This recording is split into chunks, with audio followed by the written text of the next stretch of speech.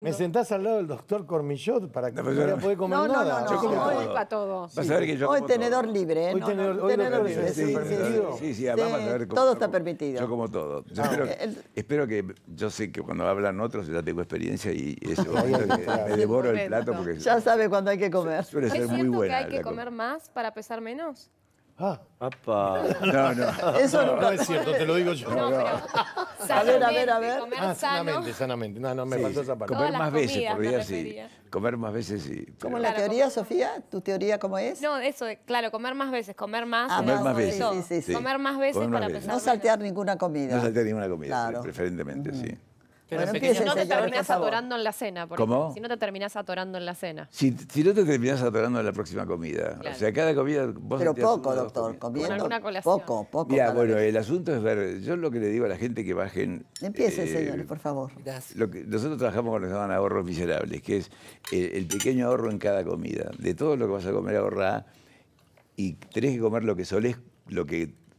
Y tomar igual que siempre, solamente que con cantidad y frecuencia distinta que antes. Pero la cantidad, el ahorro miserable es si vos vas a comer. Ahorro esto- miserable, qué feo. que Bueno, pero suena feo, es tan ¿eh? miserable.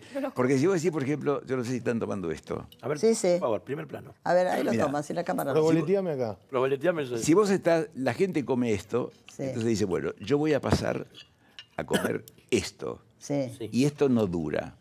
Entonces yo le digo, mira, come esto y deja mucho menos. Ajá. Es poco lo que tenés que dejar. Porque si lo que dejas es mucho, no es sustentable. Después no te puedes mantener. Entonces yo... Bueno, Ese es el ahorro miserable. Ese es el ahorro miserable. Tiene que ser tan chiquito que vos lo puedas sostener en el tiempo y que no te des cuenta que lo estás haciendo. Ajá. ¿No? Eso es lo que... Esa es su teoría. Sí.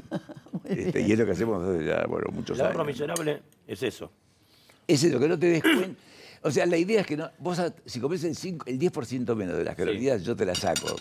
Con la gente, hago un acuerdo con la gente que te prepara la comida. Te saco un 10% y vos no te das cuenta. Bien. Si te saco el 15, empezás a darte cuenta y el 20 es un poquito de esfuerzo, pero lo puedes hacer. Si te saco el 30 al 40%, ya lo empezás un a, a helado. sentir.